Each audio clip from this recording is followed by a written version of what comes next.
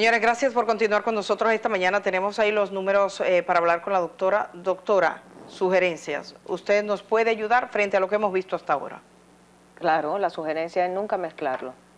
Nunca, mezclarlo. No mezclar cloro, sobre todo. Nunca mezclarlo con ningún otro principio activo, con ningún otro detergente. Es que cuando se mezcla surge otra cosa. Y nunca, y nunca con agua caliente, por los, los vapores de cloro que ocasiona.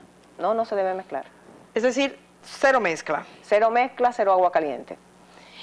Vamos a recibir las llamadas de ustedes a nuestros teléfonos. Doctora, yo he visto los, los accidentes con lo desgrasante. ¿Por qué son tan duros? Porque es que son muy abrasivos. Es que las sustancias químicas tienen sus su, efectos. Todas tienen sus efectos. Entonces, eh, definitivamente, pero hasta el agua tiene el efecto cuando usted la malusa. Ah, claro. Claro, porque eh, eh, todo es el uso que uno le dé a las cosas. Todo tiene que ser correcto. Todo tiene que ser ¿Cuáles son las preguntas más frecuentes? O sea, ¿cuál es el decálogo para tener una buena administración con los productos en casa? Si usted fuera a ponerlo en orden. Eh, primero, los que son de limpieza de los baños tienen que estar en un lugar aparte. Los que son de la cocina, en el área de la cocina. Y tratar de no pretender de que te queda más limpia la casa porque estás mezclando cosas o porque echas mucha agua. El detalle es la técnica, no es lo mismo la técnica para barrer que la técnica para trapear. Fíjese que la escoba va adelante, usted va delante de usted y el suape va, usted va detrás del suape, entonces eh, es igual. Todo tiene su técnica, todo tiene su lógica, nada es inventado, todo tiene un porqué. ¿Cómo usted barre? Barre con el cobre para adelante. Exacto. ¿Cómo usted trapea? Usted va detrás, de, ah, detrás del suape. Eh, todo tiene una lógica, la limpieza tiene una lógica, los bordes tienen una lógica de, higiene, de ahí a que se dice en el sistema de salud de que las personas que trabajan como técnicos de limpieza Deberían tener en el área de mayordomía, claro que tienen que tener una formación para eso. Además, los, los, los eh, equipos de higiene hospitalario también son diferentes porque son de microfibra, no pueden ser de, algodón porque el algodón suelta pelusa y eso ah, crea contaminación y de ahí es que hay una situación eh, importante con, podría desencadenar en situaciones de infecciones nosocomiales, que son infecciones que se adquieren en el recinto hospitalario o asistencial. Tenemos la primera llamada, buenos días. Buenos días, Eli. Felicidades por tu programa y bendiciones para todos. Gracias. ¿Desde dónde nos habla? De Bonao. Cuéntanos. La pregunta a la doctora. Sí, yo, yo tengo una preguntita media, no sé, eh, a ver qué le puedo decir. ¿Qué tan cierto es que el bicarbonato de sodio en la lavadora para la ropa blanca o de color? ¿Y cómo sería la mejor forma de, de ligar? Gracias, escucho. Gracias. Sí, se utiliza, se utiliza como blanqueador, pero solo, sin, sin mezclarlo. Ahí le voy a preguntar porque hay una que dan siempre de que bicarbonato con vinagre. No, es imposible, no. ¿Qué pasa ahí, doctora? No, no, de hecho está ah, dentro de, está dentro de las que no se pueden mezclar. Ah, ¿y qué producto surge ahí? Eh, lo dice, pues no, no, ah, recuerdo ahora mismo cuál es la aleación. Ah, pero no con cloro, yo digo bicarbonato y vinagre. No, no se mezcla. No se mezcla. No se mezcla. Y, y la gente que hace bicarbonato con limón para Eso es otra cosa. Eso sí. Eso es otra cosa, eso sí se puede hacer. Ah, eso se puede hacer. vitamina C con bicarbonato, eso es otra cosa. Pero ah. el bicarbonato no se puede mezclar, por ejemplo.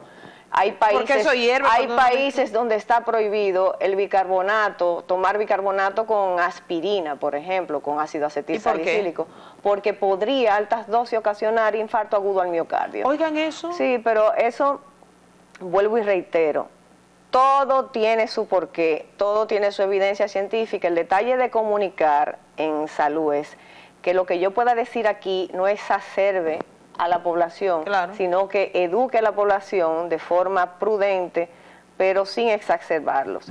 El, el, vinagre, el vinagre no se debe mezclar tampoco con el bicarbonato.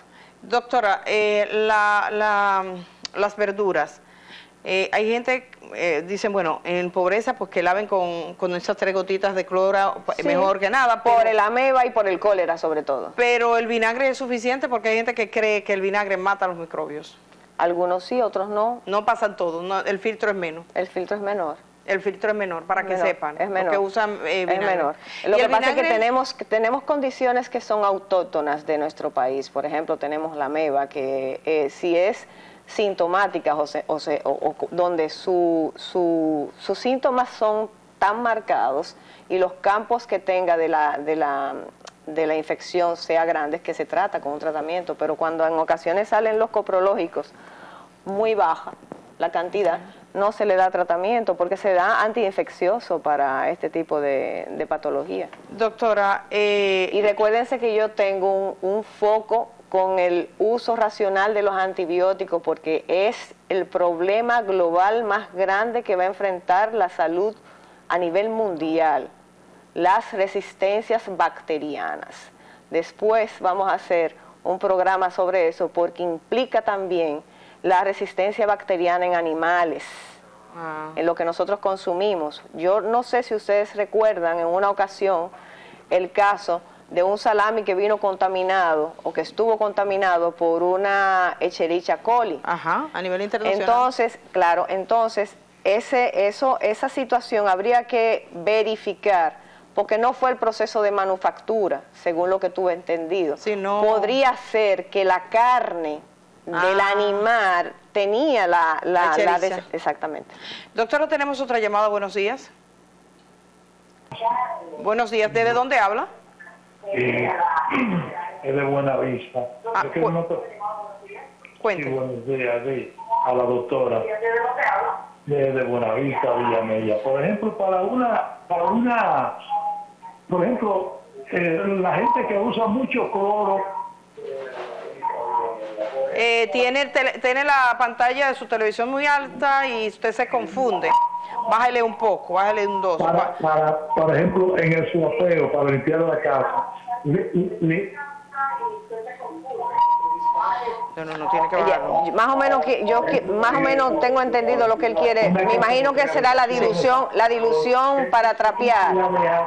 Sí, vamos a, vamos a bajar, eh, le ruego a la gente, vamos a eliminar esta, le ruego a la gente que al llamar baje su televisor porque entonces ah, hace un ruido tremendo. A un cubo de agua, yo más o menos pude entender que es para suapiar. Ajá. Bueno, eh, sin mezclarlo con otra cosa, puede ser a un cubo de agua de 5 galones, que no creo que le pongan 5 galones, póngase 3 galones, le puede poner dos tapitas de, del mismo cloro que eso tendría por lo menos 5 mililitros de la solución de hipoclorito sódico.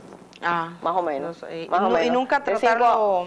no se puede vertir directamente, tiene que ser diluido en el agua. Tengo una amiga que el otro día llegó a una residencia, un, un sitio aquí central de Santo Domingo, y estaban haciendo como una limpieza, y ella agarró un producto que vio, ella pensó que era jabón, y se puso en las manos. Corrosivo total, era una mezcla de productos. Ah, ¿ya? Esas mezclas son horribles. Esas mezclas son criminales. Son criminales. La gente que, que, tiene cosas increíbles. Sí, eh, son, son mezclas criminales. Entonces por eso tenemos que manejarlo de forma oportuna y correcta, porque es que son mezclas altamente peligrosas. Doctora, ya que estamos hablando de tóxicos, ¿qué es lo que se produce en la comida, en los lugares que tienen comida guardada, la gente que trabaja y que eso cuando uno pasa por ahí, por, por los lugares donde alguna gente come, hay un olor terrible? Bueno, es que la descomposición de los, de los alimentos tiene un hedor muy fuerte. ¿Usted quiere una cosa que huela más mal que una papa podrida? Ah, sí, huele feo. Oh, o el hedor, el hedor es terrible. Entonces, definitivamente lo que hay es que tener un esquema de refrigeración.